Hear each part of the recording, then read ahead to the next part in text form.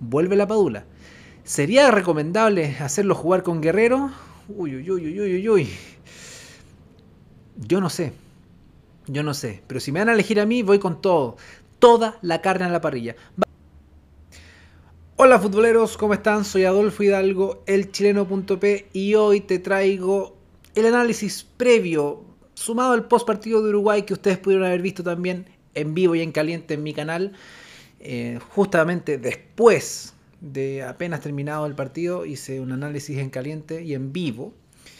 Y salieron todas las cosas importantes que decir. No es necesario hacer un análisis en frío, sino que planificar ya el partido contra Venezuela. Venezuela viene muy herido, con muchas bajas, con un técnico interino, sin defensores centrales, tienen que llamar de emergencia. Viejo, es la oportunidad de ganar y recuperarse en casa. Si se puede golear, fantástico. Hay que ir con todo. Si no se le gana a Venezuela, Qatar, nos vemos. Está obligado Perú a ganarle a Venezuela. Así que quédate porque vamos a analizar cómo debe formar el Tigre Gareca y la selección peruana de fútbol para ganar y golear a Venezuela. Quédate, te va a gustar mucho este video.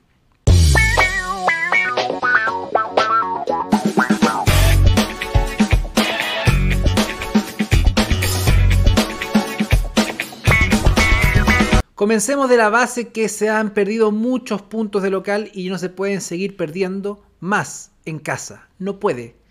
No hay margen de error otra derrota más de un, contra un rival que en el papel es uno de los más ganables. Sabemos que en Sudamérica no hay rival ganable, 100% ganable, pero por lo menos algunos más abordables. Y Venezuela es uno de ellos. Venezuela tiene que ser tres puntos en casa, obligados. Entonces, teniendo esa premisa, sabiendo también que vienen con muchas bajas, sabiendo también que tienen un DT interino, hay que salir con todo. Vuelve la Padula. Vuelve la Padula. ¿Sería recomendable hacerlo jugar con Guerrero? Uy, uy, uy, uy, uy, uy. Yo no sé. Yo no sé. Pero si me van a elegir a mí, voy con todo. Toda la carne a la parrilla. Bueno, vamos directamente a la pizarra para que vean lo que tengo en mente y quizás les guste. Quizás no. Si no les gusta, dejen en comentarios, digan qué cambios harían ustedes. Eh, Perú viene sin bajas. Perú viene sin suspensiones, Perú viene limpio. Tiene todo para ganar. Vamos con esa pizarra. Tenemos acá, gracias a mis amigos de Apuesta 365, en donde ustedes pueden ingresar y pueden apostar ingresando y registrarse también con mi código de afiliado. Tendrán un bono de bienvenida de 20 soles. Así que apuesta 5 soles y ya tienes 20 también. Lo que tú recargues a partir de 5 soles, se te regalarán 20 eh, para que puedas em, ocupar para que puedas apostar, ¿ya? Así que muchas gracias a mis amigos de apuesta365.pe, la casa de apuesta con las mejores, y esto no es floro, con las mejores cuotas. Siempre vas a ganar más con apuesta365.pe. No me, no me van a dejar mentir. Revisa las cuotas, de verdad. Las mejores del mercado. Esta, pues, uy, uy, uy, Adolfo, chileno te volviste loco, ¿cómo que Yotun, Cartagena, cómo que La Padula, Guerrero, Carrillo, cómo que... Bueno, vamos a analizarlo. En el arco no puede estar otro que Galese, Galese no tuvo responsabilidad alguna en el gol de Uruguay. Ya, eh, si hablamos de responsabilidades, podría ser el equipo completo, podría ser eh, Tapia que salió blandito, fuera de, su zona de recuperación. Después Santa María que quiso salir jugando con Yotuni. Bueno, ya, todas esas. Podemos ir uno a uno. Pero Galese no tuvo ningún, ninguna responsabilidad. Buen partido de Galese dentro de todo, dio seguridad. No le llegaron tanto tampoco, pero bueno, sí dio seguridad en las intervenciones que tuvo. Eh, advíncula, Advíncula por derecha, eh, le falta pasar al negro, nomás le falta, aquí tiene que atreverse, tiene que ganar confianza. En Boca pasa lo mismo, en Boca no sube tanto, no está aprovechando su gran velocidad. Eh, ¿Tendrá alguna lesión, alguna molestia o solamente falta de confianza? Puede ser falta de confianza, creo yo, ¿ya? Pero Advíncula tiene que volver a esa rapidez y esos desbordes que lo caracterizan, ¿ya? nada más que decir. Santa María no es, yo no lo mataría por ese error, no lo mataría, porque esa es también la intención de Gareca, salir jugando siempre, nada de reventar. Aquí Santa María se equivoca, sí, pero se equivoca por seguir las instrucciones de Gareca. Entonces, en ese sentido, no hay que matarlo. Y pensar en él o en Cristian Ramos, yo prefiero quedarme con Santa María, por supuesto, sin ninguna duda. Eh, después afirmó también, ganó duelos aéreos, eh, no fue sobrepasado. Eh, creo que estuvo bien. No lo mataría a Santa, María. Callens, el mejor de la defensa. El patrón, el patrón del, área. Muy, muy buen jugador. muy, muy preciso al momento de quitar. muy poca falta comete porque sabe, sabe, es muy, es muy buen tiempista, temporiza muy bien, acosa muy bien, quita muy bien. Me gusta lo de Callens, aparte que inspira respeto y además da confianza a la saga eh, de Perú. Luego López en la izquierda, muy buen partido de López, pero también creo que le falta un poquito más subir. Es curioso, ojo, siempre hemos hablado que los laterales peruanos eh, carecen de, la, de, la, cualidad de defender y a veces abusan de, subir mucho. Bueno, ni Advíncula ni López subieron mucho en el partido contra Uruguay.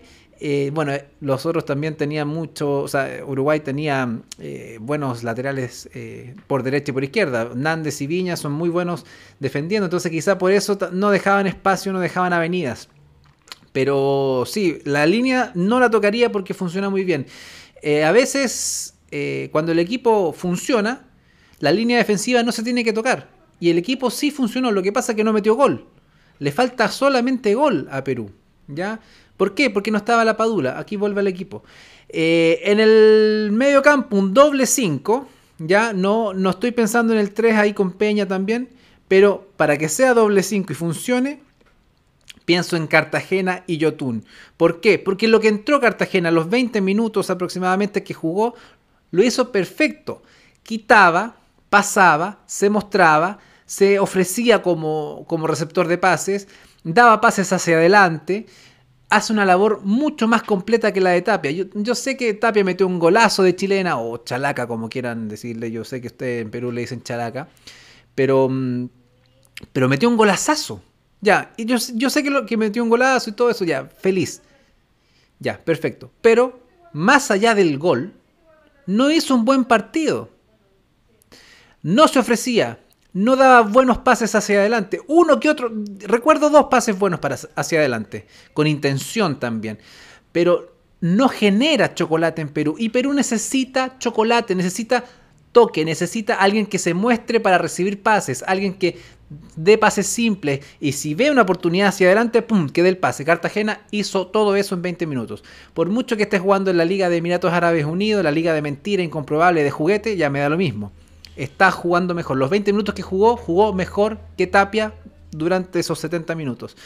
Em, y Yotun no puede estar afuera. Ya, no puede estar afuera. Este doble 5 le da, entre comillas, equilibrio en defensa y en ataque. ¿Por qué equilibrio en defensa? Porque Cartagena y Yotun quitan muy bien. De hecho, Yotun quitó más que Tapia, si no me equivoco. Tendría que revisar las estadísticas, pero Yotun eh, quitó mucho ayer y Cartagena cumple. Y ambos tienen buen pie para salir.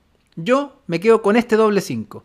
Con Carrillo por derecha y con Cueva por izquierda. Claramente Cueva se va a centralizar un poquito más acá, la padura se puede abrir, ya, pero hay que salir con todo. Con Guerrero, con La Padula y con Carrillo. No pueden estar. Ninguno de esos tres no, puede estar afuera. Ninguno de esos tres. Y Cueva, bueno, me van a decir, Adolfo, está sonando muy parecido a lo de Marcarian y los Cuatro Fantásticos. Sí. Pero ¿qué pasa? Los Cuatro Fantásticos acá tenía a eh, Vargas, que era un carrilero, extremo, lateral izquierdo, pero bueno, que se sumaba mucho acá, hacia este recorrido. Cueva hace esto. Hace esto. ¿Ya? no es de hacer esto, hace esto. Tenía a Guerrero y tenía a Pizarro. Pizarro podía jugar un poquito más retrasado. La Padula juega un poquito más adelantado. Claro, ¿podría jugar por detrás de Guerrero? Sí, sin ninguna duda. Claramente, tiene la capacidad para hacerlo. Y tiene la capacidad también como Guerrero de arrastrar, de arrastrar marca.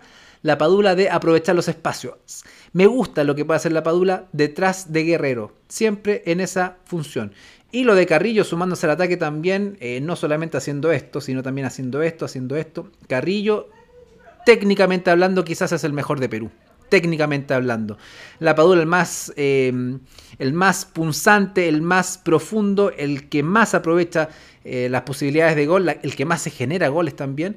Y Guerrero es el que más arrastra marca. Ayer, contra Uruguay, lo marcaban de a 4, de a 5. A Carrillo también. Hay que aprovechar eso. Venezuela viene disminuido. Entonces, si marca mucho Carrillo, si marca mucho a Guerrero, la Padula puede quedar con espacio. Cueva puede quedar con espacio. Esto no es casualidad que los haya parado yo así en el, en el campo. Venezuela va a salir a defenderse, a guardar el, el resultado porque viene en desventaja lo va a tratar de ganar en la contra. Entonces por eso necesitamos una línea que se conozca, una línea de defensa que se conozca. El medio campo tiene que ser de transición rápida. Santa María, Cartagena, Cartagena, Yotun, Yotun, La Padura o Cueva. Y así.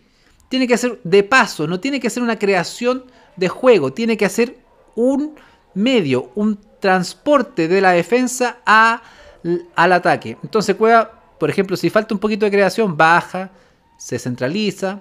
Carrillo, si tiene que defender, baja a defender, no hay ningún problema, pero tiene que estar en constante suma al ataque. Me pueden decir que estoy loco por un 4-4-2, que el 4-4-2 nunca le ha funcionado a Perú, pero tiene que jugar con doble 9 Perú, porque tiene que aprovechar esta oportunidad que Venezuela viene muy mal, que viene muy disminuido, que viene con un técnico interino, y Perú viene jugando bien. Jugó muy bien contra Uruguay, muy bien, solamente le faltó el gol. ¿Qué, estoy ¿Qué está cambiando de esta formación con la, del, con la de ayer? Bueno, aparte de Tapia por Cartagena, que Tapia no me gustó como jugó, entra la Padula por Oreja Flores. Oreja Flores no existió anoche en la cancha. Perú jugó con uno menos por 70 minutos. Con la Padula desde un principio, Perú va a ganar y va a ganar mucho en ataque. Peso ofensivo, en referencia de marca, los defensores sean quienes sean, porque no sabemos quiénes van a parar. Sabemos que Fariña está en el arco y el resto es como son muchas incógnitas en Venezuela. Entonces, por eso los pongo ahí con solamente con con, la ficha, no con los nombres. No sabemos qué va a parar el técnico interino de Venezuela. Pero la Padula, entrando desde el, desde el comienzo, en vez de Flores y Cueva externalizándose un poquito, claramente mejora la creación de peligro en el área rival. Flores no existió ayer, lamentablemente. Me cae muy bien Orejita Flores, pero no lo hizo bien anoche. No lo hizo bien. Esta es la formación que yo propongo. O ya sea un 4-4-2, un 4-2-4, como quieran llamarle, así con dos delanteros centro, o con un Lapadula un poquito más retrasado, que también sería un 4-2-3-1. ¿Ya? No cambia mucho la cosa. Cueva también se metía mucho cerca de Guerrero. Carrillo después, en el segundo tiempo, terminó jugando acá ya con un 4-3-1-2, con doble 9. Y cuando mejor se vio Perú fue con el doble 9 de Carrillo con Guerrero. Así que por favor no me lo cambien. Y si Cueva está jugando un partidazo, Tigre, no lo saques. No lo saques, por favor. Lo sacaste ayer a Cueva en el mejor momento de su partido. Así que por favor, hacer bien las cosas.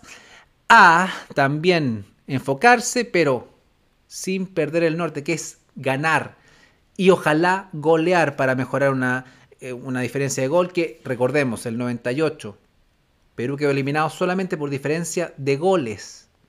Hay que empezar a golear todos los partidos en casa que se pueda. Contra Bolivia, contra Venezuela, si se puede contra Ecuador, también se golea contra Ecuador. Hay que golear. ¿ya? Hay que ir con toda la carne a la parrilla. No estamos para especular. ¿ya? ¿Qué te parece mi formación? ¿Crees que se le puede ganar a Venezuela? ¿Crees que se le puede golear? ¿Crees que con esta formación que estoy proponiendo yo se le puede ganar a Venezuela? Déjame abajo en los comentarios, participa porque tus comentarios son muy importantes para este canal. ¿Quieres hacer algún cambio? Déjamelo también abajito. Los voy a leer todos. Ya, y podemos también estar debatiendo. Hay que ganar. Hay que ganar y hay que golear. Si te gustó el vídeo, regálame un like. Suscríbete si aún no estás suscrito. Ambas son gratis. Darle like y suscribirse. Más de la mitad de las personas que ven mi contenido no está suscrita. ¿Qué pasa? ¿Qué pasa? Es porque soy chileno, viejo, mira. Suscríbete, mano, pe. Y también, eh, si ya estás suscrito y le das likes a mis publicaciones, hazte miembro del canal. Están apareciendo ahora los miembros del canal que ayudan al funcionamiento de esta plataforma eh, mensualmente con un aporte pequeño, pero entre varios se hace un buen pozo y se puede ayudar al funcionamiento de este canal. Es muy barato, es muy barato. Hay hartos planes, hay desde 3 soles, 5 soles, 8 soles creo también, así que pucha, se agradecería mucho tu, tu aporte. Recuerda que soy Adolfo Hidalgo, el chileno.p y este fue otro análisis sin floro, sin humo, sin mermelada, sin soberanía, sin chamullo, con la verdad por delante siempre le duela a quien le duela. Hasta la próxima, futboleros. Ciao.